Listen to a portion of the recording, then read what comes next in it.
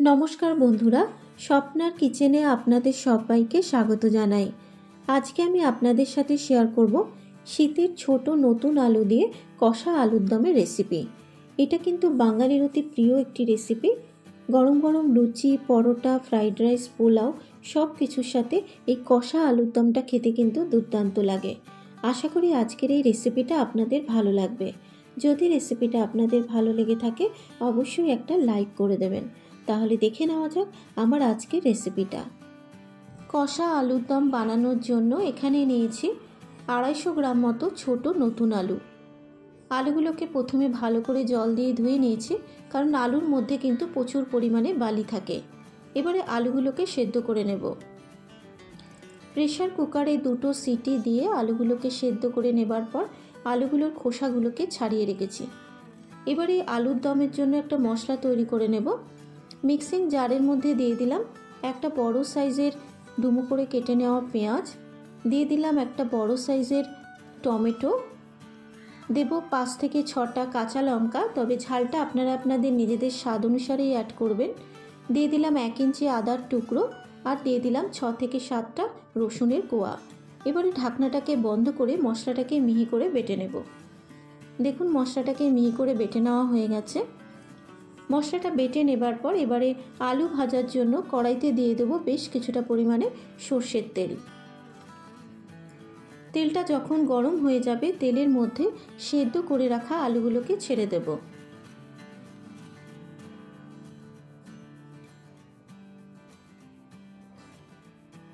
আলুগুলোকে তেলের মধ্যে দেওয়ার পর দু মিনিট মতো আলুগুলোকে ভেজে নেব। দু মিনিট নাড়াচাড়া করে নেবার পর এবার এর মধ্যে দেব স্বাদ মতো নুন আর দিয়ে দেবো হাফ চা চামচ হলুদ গুঁড়ো। নুন আর হলুদ গুঁড়ো দেবার পর এবার আলুর সাথে খুব ভালো মতো করে মিশিয়ে নিয়ে আলুটাকে কিন্তু লাল করে ভেজে নেব।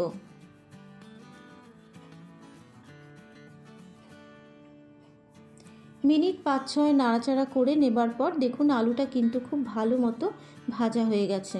এবারে আলুগুলোকে একটা পাত্রে তুলে নেব।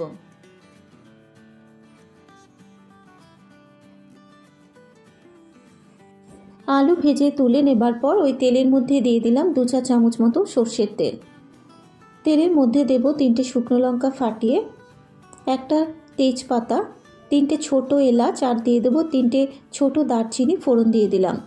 এবারে তিরিশ সেকেন্ড মশলাটাকে খুব ভালো মতো করে ভেজে নিতে হবে। মশলাটা ভাজা হয়ে যাবার পর এবার এর মধ্যে দিয়ে দেবো মিক্সিতে বেটে রাখা মশলাটা। মশলার উপরে দেব স্বাদ মতো নুন আর দিয়ে দেবো হাফ চা চামচ হলুদ গুঁড়ো। নুন আর হলুদ গুঁড়ো দেবার পর এবার মশলার সাথে মিশিয়ে নিয়ে মশলাটাকে খুব ভালো মতো করে কষাতে হবে যতক্ষণ না মশলাটা থেকে কাঁচা গন্ধটা চলে যাচ্ছে।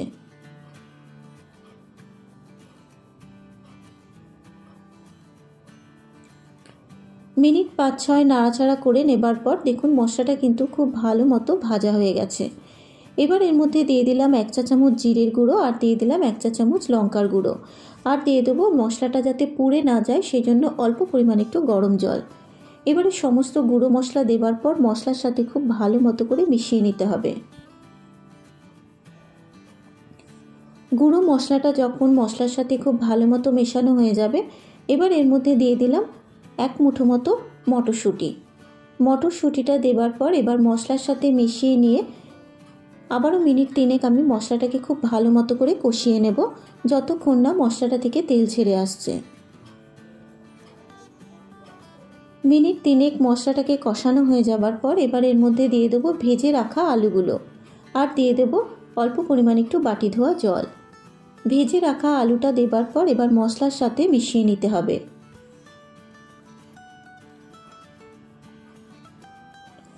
আলুটা মশলার সাথে মিশিয়ে নেওয়া হয়ে গেলে এবার আলুটাকেও মশলার সাথে মিনিট দুয়েক মতো আবারও কষিয়ে নেব।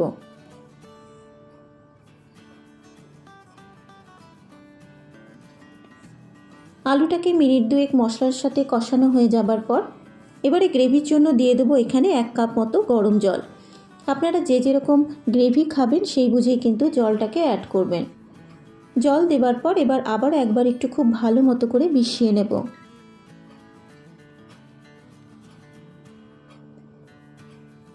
গরম জল দিয়ে নাড়াচাড়া করে নেবার পর এবারে গ্যাসের ফ্লেমটাকে লোতে রেখে মিনিট পাঁচেক ঢাকা দিয়ে আলুর দমটাকে রান্না হতে দেব।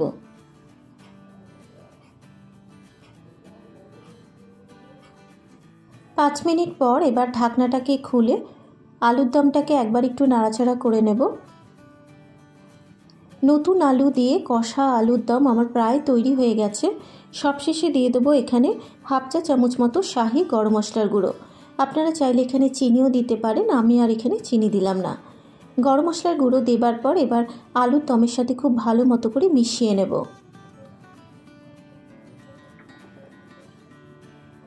গরম মশলার গুঁড়োটা যখন খুব ভালো মতো মেশানো হয়ে যাবে, এবারে গ্যাসের ফ্লেমটাকে বন্ধ করে মিনিট তিনেক ঢাকা দিয়ে স্ট্যান্ডিং টাইমে রেখে দেব। তৈরি হয়ে গেছে আমার আজকের রেসিপি নতুন ছোট আলু দিয়ে কষা আলুর দম। যদি রেসিপিটা আপনাদের ভালো লাগে, অবশ্যই আপনারা এভাবে একবার বাড়িতে ট্রাই করবেন। আশা করি আপনাদের ভালো লাগবে। আমার চ্যানেলে নতুন বন্ধু হলে চ্যানেলটাকে সাবস্ক্রাইব করার অনুরোধ রইল। ও পাশে থাকা বেল আইকনটি প্রেস করে দেবেন। কারণ আমি যখনই আমার চ্যানেলে নিত্য নতুন রেসিপি শেয়ার করব নোটিফিকেশানটা আপনাদের কাছে পৌঁছে যাবে। আজকের মতো এই পর্যন্ত। আবারও হাজির হয়ে যাব অন্য কোনো নতুন রেসিপি নিয়ে। সুস্থ থাকবেন ভালো থাকবেন। ধন্যবাদ।